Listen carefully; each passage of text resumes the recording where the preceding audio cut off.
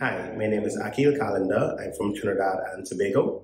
I'm 28 years old and I am the youth specialist at Sustainable Energy for All.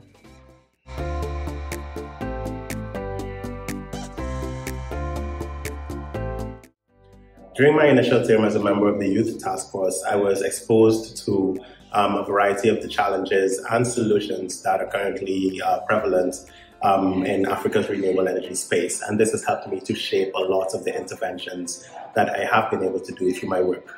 Uh, for instance, this year we launched the SDG 7 Global Youth Ambassador Program, which includes a young person from Africa.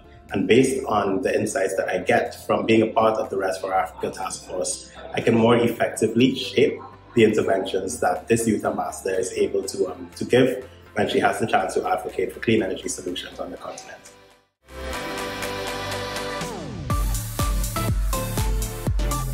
I'm really excited to see the work of the Youth Task Force mainstreamed more into RES4Africa's Foundation's work, particularly around the Youth Startup Initiative, which aims to fill a major gap that we see in our work as SE for All.